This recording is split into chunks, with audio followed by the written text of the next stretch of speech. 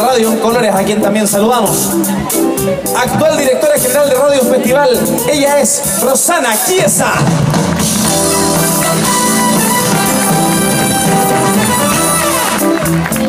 El año 2003 llega a la televisión a un programa de talento famosísimo llamado Rojo Fama contra Fama.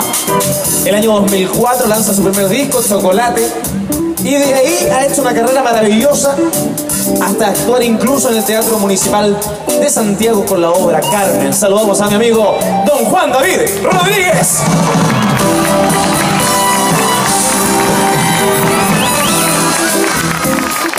Esta noche conoceremos la música maravillosa de una mujer increíble, una ciudadana del mundo podríamos decir. Ha estado en Bolivia, en Europa, en nuestro país. Está de pasada en Concón porque tiene raíces también con nuestra tierra. La música tropical la lleva a las venas. Ella es Carla Natacha.